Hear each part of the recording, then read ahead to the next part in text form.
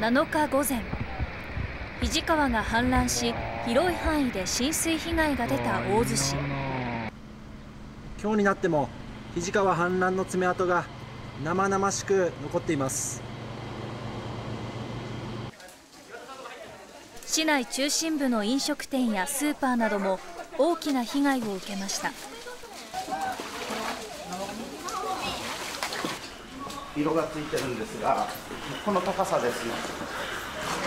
120ぐらい12030ですかね。この高さまで水が来ました。A コープ大津では従業員が総出で泥まみれになった商品を運び出す作業に追われていました。また商品の陳列棚なども流され横倒しの状態に。初めての経験なんですごくもうどうなるんだろうということでもう店舗がもうどんどん沈んでいったんでもうかなり怖かったですね。経済的ダメージというと結構大きいかなり大きいですね、はい、やっぱ億単位じゃないですかね。はい。大洲市内では大規模な浸水被害で食料品などが手に入りにくい状態になっていて A コープ大洲では飲料水や缶詰などを入荷し明日駐車場で販売する予定です。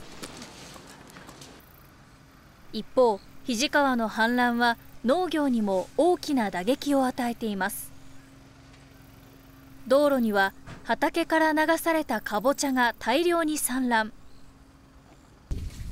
こちらのビニールハウスは2メートル以上の高さまで水に浸かり収穫直前のトマトに大きな被害が出ていました。